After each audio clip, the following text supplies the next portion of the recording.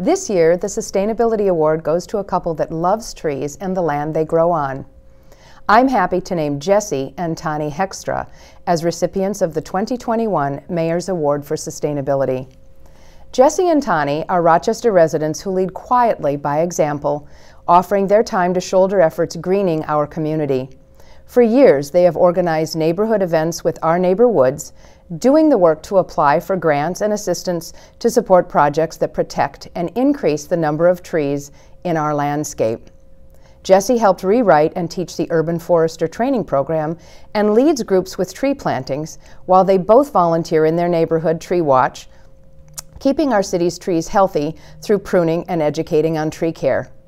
They also assist in trash collection efforts with their family in the Gordon W. Yeager State Wildlife Management Area just east of Rochester.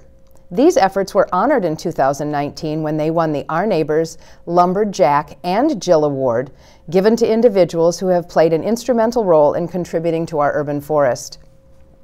They are also experts at composting, recycling, and creative reuse.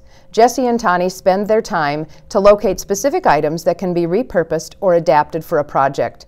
Their desire to seek out consumer goods without contributing to the waste stream is important to them.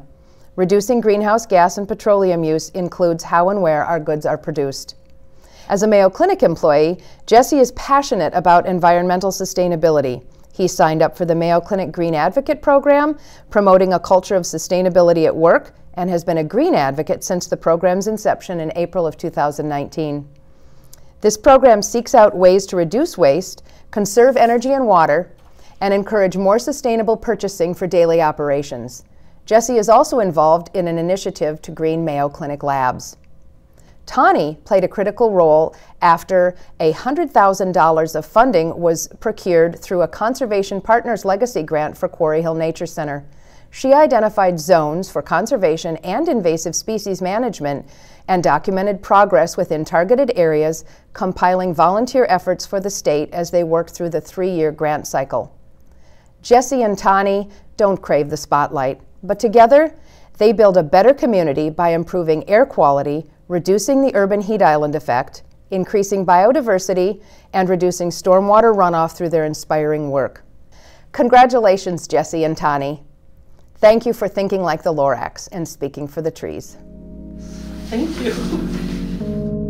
We will put this on for the both of you.